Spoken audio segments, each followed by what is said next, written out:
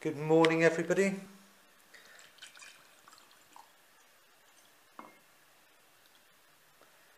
There we are. Good, clean water. Using bottled water because it's better than um, tap water.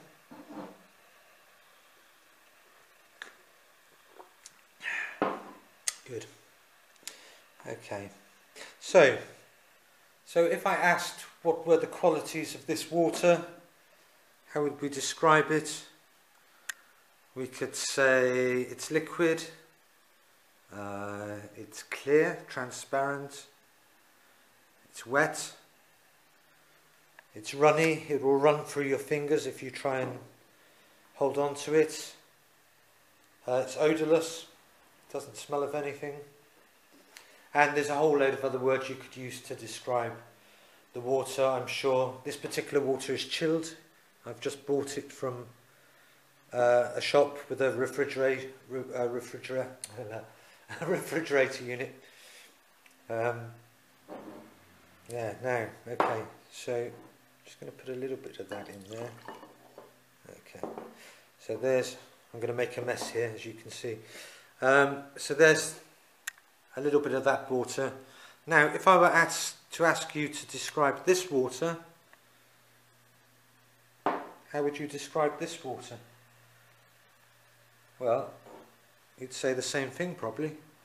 You'd say it's clear, transparent, wet, runny, liquid, odourless, chilled.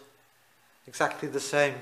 Because this water is a portion of that water. Yeah? It's the same thing. I've just taken a, um, a fraction of it, a fractal, a fragment, a portion of that water, and it's exactly the same. And then again, if I were to use a little bit of this water, maybe I've got a tiny little bit in there. I don't know if you can see that. There we are. Now if we were to describe the qualities of this water, again, it's wet, liquid, transparent and odourless. Okay, so saying that.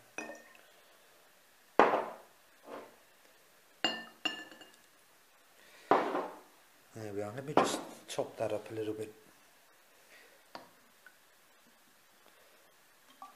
There, let me grab a chair. So if I were to ask, what is the Bible? Or to describe the qualities of the Bible, what is the Bible? Um, we could say it's the truth, it's absolute truth. It's the Word of God, it's the living Word. It's Jesus.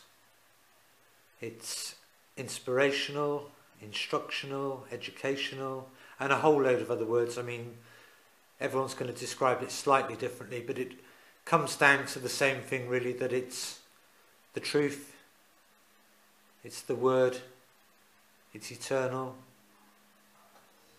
and it leads us to Jesus Christ. Okay? So if we were then to take, this is where it's going to get messy we take a book from the Bible, you can see it's going to have the same qualities. Okay, the book from the Bible is still going to have those qualities. It's going to be truth, eternal, the living Word of God.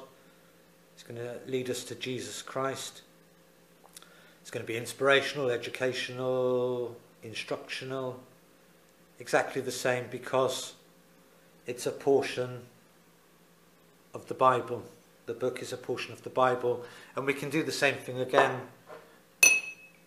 We can take, say, for example, a chapter from the book, same qualities, has to hold because it's the absolute truth. If something's absolute truth, then any portion of it, whether it be the chapter or the book, the chapter, the verse, and we could go on breaking this down, it would still hold true.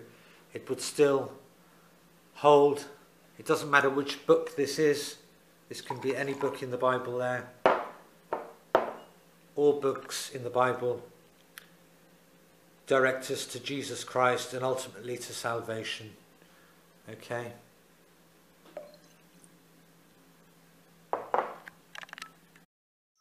Just before we go on, I'd like to make a quick observation here. Now, Satan can't touch Jesus. Satan has no power over Jesus whatsoever. Jesus defeated Satan. He refused to be tempted by Satan in the wilderness. Ultimately, he defeated Satan on the cross when he shed his blood for our sin. Even the majority of atheists will admit that Jesus was here in the flesh.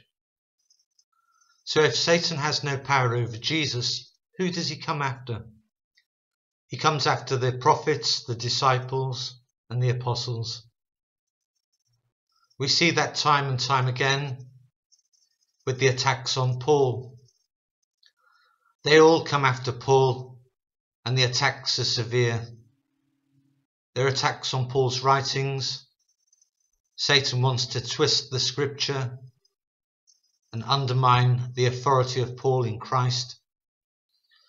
Most Christians know the words of Jesus really well. Most Christians can tell you what Jesus actually said. But when it comes to Paul, people are a little less informed. And Satan uses this little chink, a little chink in the armour, to come after Paul, to twist the scripture. The prosperity people do it. They twist Paul to be a collector of tithes and taxes from the church. They said about a confusion about Paul's teachings, and it relies on people not knowing scripture. The prosperity people, the Hebrew roots, the feminists, they all come after Paul. If we look at the disciples, well, there's a Gospel of Thomas, a Gospel of Judas, a Gospel of Mary. Like Paul, Mary Magdalene comes under severe attack. She's either belittled to the status of whore, or she's elevated to be somehow especially favoured to the point where she sets up a relationship with Jesus. Just like Satan has to go through Eve to get at Adam, he goes through Mary to get at Jesus Christ. Thomas and Judas both had weaknesses. Thomas the doubter, Judas the thief and betrayer. In the Gospel of Thomas, Thomas is accredited as saying that self knowledge will give you power in the world. That's the doctrine of Satan. It's straight from Satan's lips. It's to take you away from the salvation of Jesus Christ, and it sets out to cause confusion as to who the disciples really were. Satan has no power over Jesus, so he attacks the disciples. And if we go back further, we'll see how the prophets are attacked. Both Enoch and Elijah were taken out of here by the hand of God and put directly into the kingdom. And Satan hates that. Satan, who was cast out of heaven, never to return, absolutely hates Enoch and Elijah. Make no mistake about that. We see a continuous, relentless, hard driven war today between the spirit of Elijah and the spirit of Jezebel. That Jezebel spirit is here because Satan hates Elijah. And it's the Jezebel spirit that is the tool that Satan uses to exact revenge on Elijah for being so favored by God, for being a prophet, for proving wrong the priests of Baal. As for Enoch, again, Enoch was taken out of here he didn't die a physical death. He was put straight into the kingdom, highly favored. Highly favored. And Satan hates that. Enoch goes so far back into antiquity that it's really difficult, one way or the other, to prove one thing or another. We don't have any detailed life story, whether he wrote things down, whether the scriptures were saved or not. And so he becomes a target for Satan through the book of Enoch.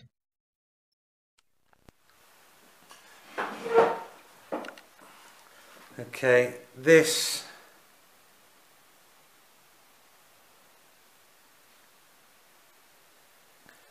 this is the book of Enoch. Now I've put some um, kitchen towel down because this could get messy. okay, here's our Bible. Here's the book of Enoch. Okay, and people who use or promote the book of Enoch will tell you that it aligns with scripture, that it's instructional, that it's useful. They'll tell you all sorts of things like this, but we're going to have a look at how this works, okay? So, does the book of Enoch line up with scripture? Well, apparently, and we're going to have a look at the, we'll look at the scripture later. Let's take our book here. This is one of our books from the Bible. Now, apparently, it does line up with, um, I believe it's the book of Jude, okay? But this can be any book, it doesn't really matter. Um, people will say that the book of Enoch lines up with one of the books from the Bible. I think it might be Jude or maybe it's Old Testament, Ezekiel or something. We'll look at those scriptures later. Now, okay, I'm guessing this is food colouring, although it may not be. Let's have a look. I can't get this camera to focus on the ingredients. Okay, but when we actually look at the book of Enoch, what it doesn't do is it doesn't point to Jesus. Now, every other book, whatever book this is, whether it's Jude, Genesis, Ezekiel, it doesn't matter. Any all books in the Bible will take us back or have a, fractal or a fraction or a portion of the overall truth, which is to lead us to Jesus Christ and ultimately to salvation.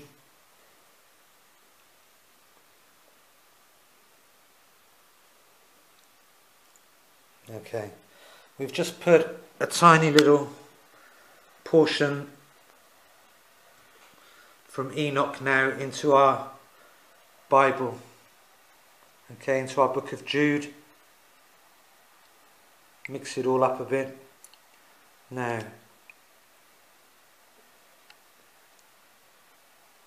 there's our alignment. There's our alignment from the book of Jude, from the book of Enoch into the book of Jude, I believe it is.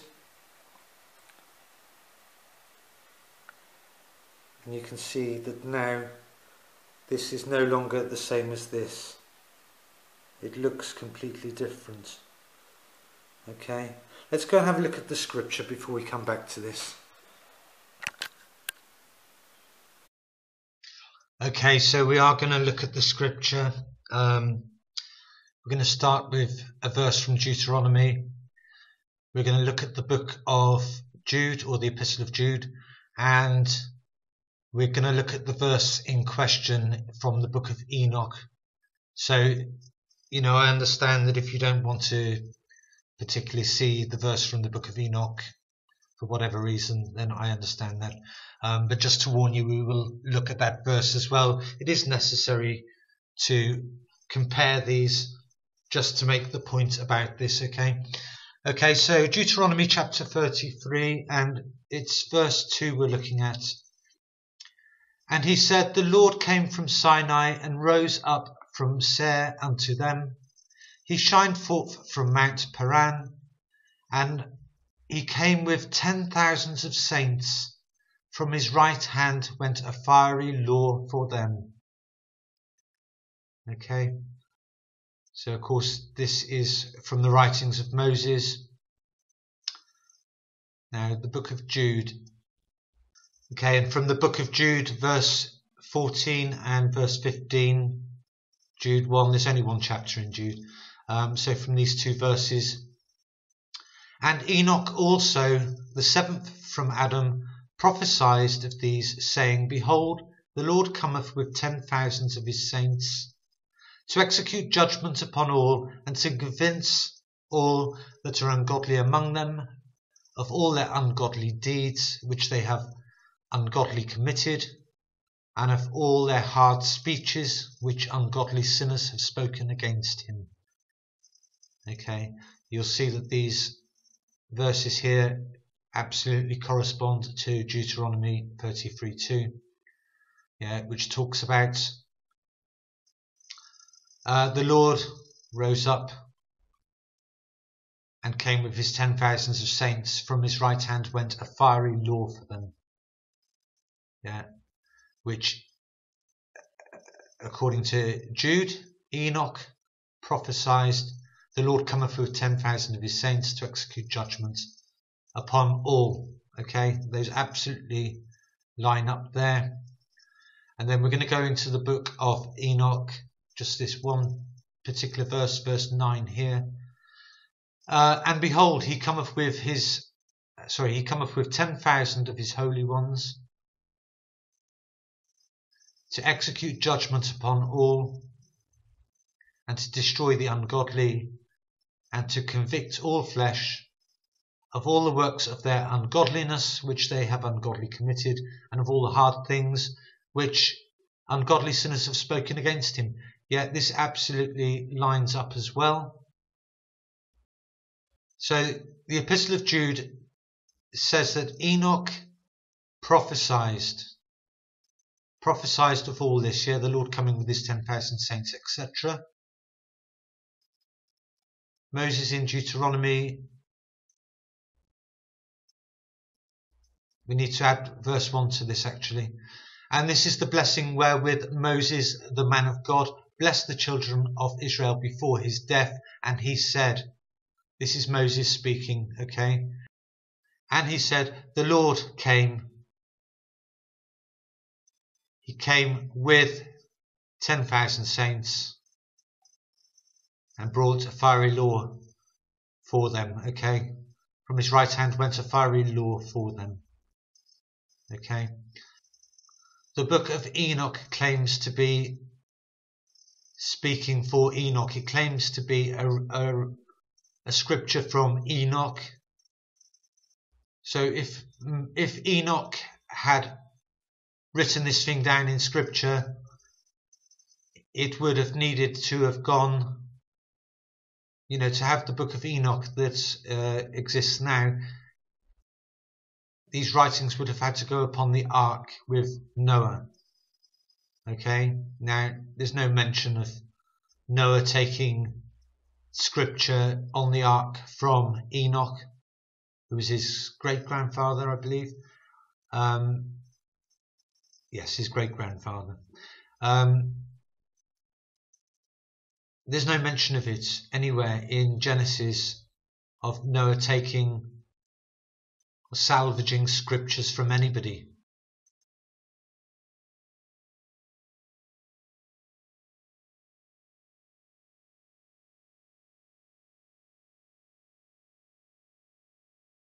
Yeah, Moses wrote the book of Genesis. It's the divine inspiration of God. We know that Moses had had encounters with God yeah, when he was given the commandments, and he put the commandments down on stone and brought them down to the people. Jude receives the inspired word of God and is clearly instructed to write this down that Enoch did indeed prophesy these events with the 10,000 saints. Okay. Um, so it's all there. It's all there in the Bible.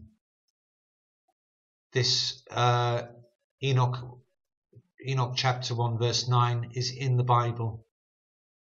You, there's absolutely no need to take this from an outside source and try and line it up with anything. It's there. It's in the Bible. It's here. Yeah, and this is what they do. They they say, ah, well, parts of parts of the book of Enoch line up with scripture. Well, so what? It doesn't matter.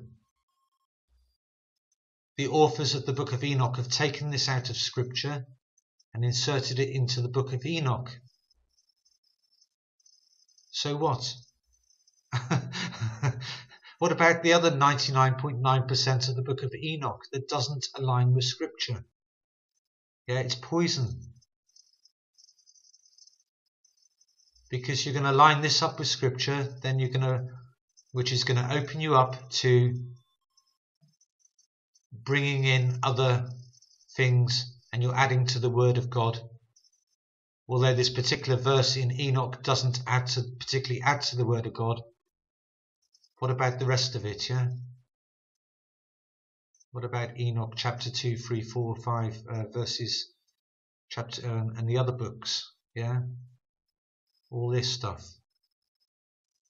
So the Jewish people do not accept that do not accept the book of Enoch to be authentic. They do not include uh, the book of Enoch in their in their scriptures, in their teachings, and neither should Christians. Um, they're not accepted as divinely inspired, God given word of God. And you'll see that there's no, they don't hold true with the books of the Bible because they don't point to Jesus, they don't point to the cross or to the salvation that's offered to us. Okay, so what we know is that the Bible always leads us to Jesus. It doesn't matter which book of the Bible it is, and pretty much any chapter of any book of the Bible, even a verse, is always pointing toward Jesus pointing towards salvation. Whereas the book of Enoch, if we look at the ingredients again, Jesus isn't listed in the ingredients there. There's no Jesus, there's no salvation in the book of Enoch. It doesn't lead you to Jesus, yeah? And because it doesn't lead you to Jesus, this cannot be of this. This cannot be a fractal or a portion or a fraction of our drinking water there. Okay, so what we're going to do. Okay, so we got the scripture there. It's um, Enoch 1, verse 9 there. So this is what they're going to do. They're going to mix Enoch 1 9 in with Jude 1 verses 14 and 15. Yeah? Okay, and that's what you get something that doesn't look very much like the Bible anymore. Um, now, one verse, one verse from the book of Enoch. One verse from the book of Enoch, they're saying, aligns with the Bible. Now, what about, so there's our verse, mixed in with Jude or Deuteronomy or wherever. What about this? What about this that could be food colouring, could be cyanide or arsenic or something? What about that? What, what, where does that leave this? Yeah? I would drink this. I would drink this. I would give this to the children to drink. Yeah, because I know where it's come from. I know where it's come from, what it is. Yeah, would you drink that? Would you drink that? Some people are willing to drink this. Like I say, it might be food colouring. Yeah? Who's going to drink this? This is what they want you to drink. Yeah? One verse gives you this, and there's the rest of the book of Enoch. It doesn't look too appetizing to me. I could be wrong. Well, I'm not wrong. It doesn't look appetizing at all. Um, now, the book of Enoch was probably written by five different authors. Yeah, and it's accredited to sometime between 300 years before Christ and the first or second century after Christ. Okay, by five different authors. There's five distinctly different writings in the book of Enoch. Okay, now this is the next thing we do. Okay, so what we're going to do is we're going to take uh, verse Deuteronomy verse uh, Deuteronomy chapter 33 verse 2 that we've just studied. That's that there. Okay. And the book of Jude chapter 1, two verses there, 14 and 15. Okay. Those are our Bible verses. We'll mix them up a little bit there. Okay. Again, exact same quality as our Bible because this is in the Bible, it's true, it's truth. It's truth, it directs us to Jesus Christ and to salvation. We're going to take that, in fact, we're not going to take that out of the Bible. Let's just put that back in the Bible for a moment. What we're going to do is we'll do a copy and paste job, okay?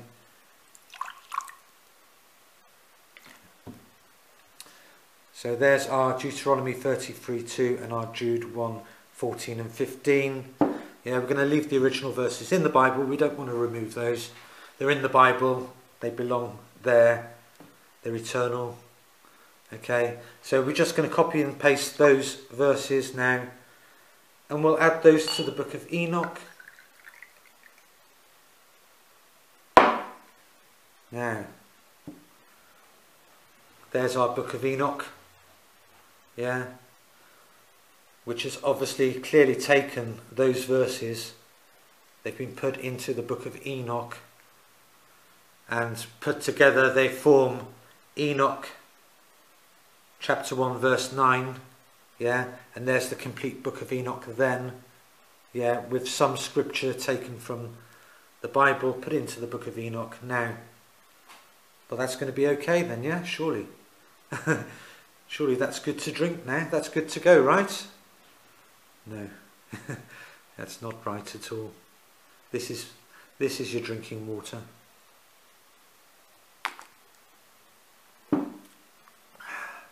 Okay, that's your Bible. There's your Book of Enoch. That is not of that, otherwise it would look the same. Yeah, and this is what your Gnostics want you to drink.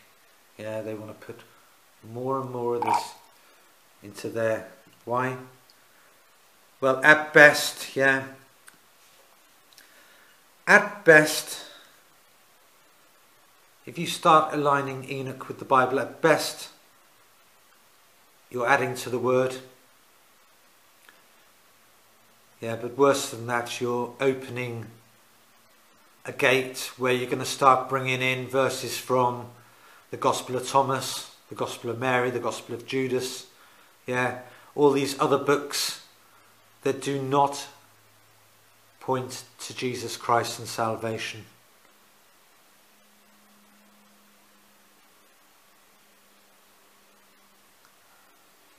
This is your gift.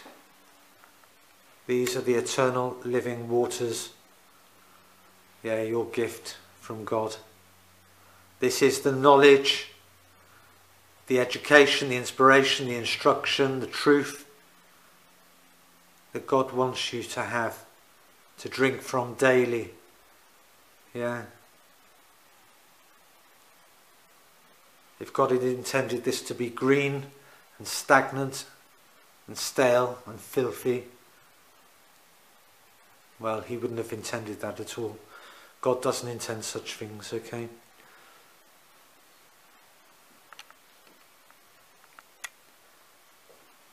Okay, well, we did that without too much mess as well. That's great.